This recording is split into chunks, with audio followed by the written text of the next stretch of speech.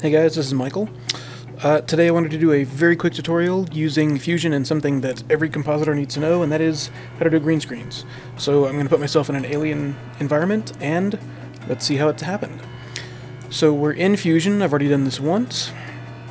Uh, I'm going to take my two clips that I have, which is my green screen, which is very poorly shot, I gotta fix that, that's my fault, and my alien landscape that I'm going to put myself into. I stack them on top of each other. So far this is the easiest way I found to actually get something into Fusion. And I right click and say New Fusion Clip, and it opens up and nothing happens because we have to flip over to Fusion. So I go into Fusion, and I get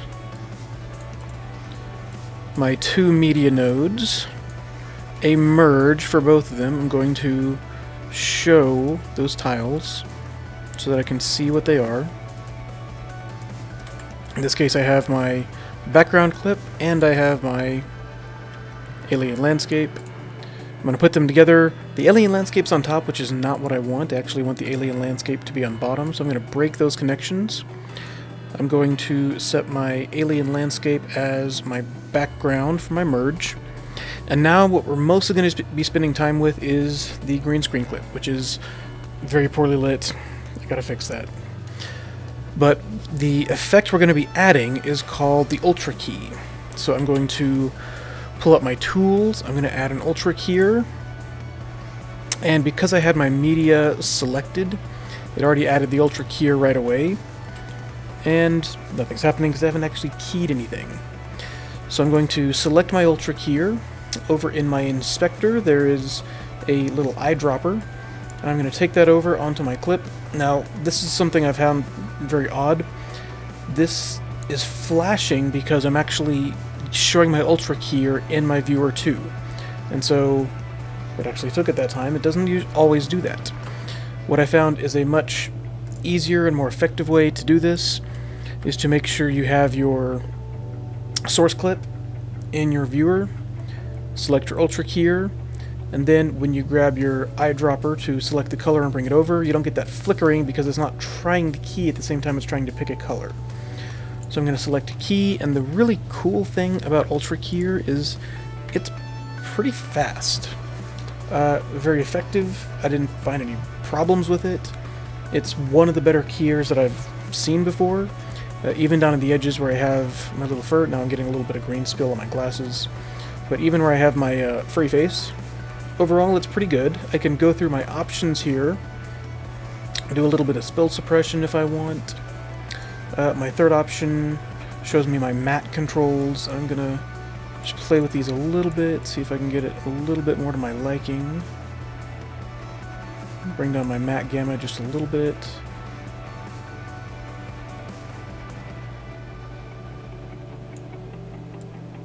Bring the gamma back up and bring the expansion back down a little bit. And now that's reasonable. I can I can deal with that. I'm to make this fit. Now I'm going to take my key result and I'm going to pipe it into my merge.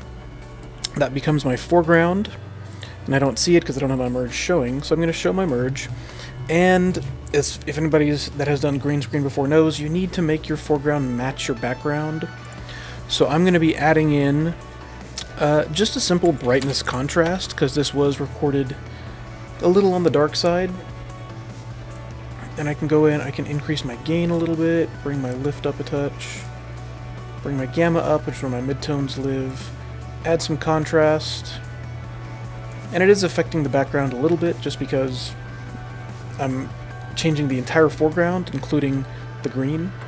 And this is very basic, this is not a super detailed uh, tutorial, this is just the very fundamentals. Uh, but the background is mostly blue, and I'm very, very orange. So I want to also add a small color corrector. When I add that in, I get a very basic color wheel, and there's a lot of options here. We're not going to go through all those today. What we are going to go through is, I'm just going to grab it and add some blue. Not quite purple. just to make me blend into the background a little bit better. And again, that's piping into a merge, which has my background in it, and that's piping into my media out. We go back into Fusion, and hey, we have myself in an alien landscape. So again, that was a very, very quick overview tutorial. There's lots more details you can put in in terms of making it a uh, really effective key, mostly in terms of pre-planning and lighting, and having a really good green screen, which I need to adjust ours. But very simple. That's the fundamentals of it, and green screening. Green screening is one of those things that uh, most compositors learn pretty early. So again, we'll probably do a more detailed tutorial later on, but thank you, and we will see you on YouTube.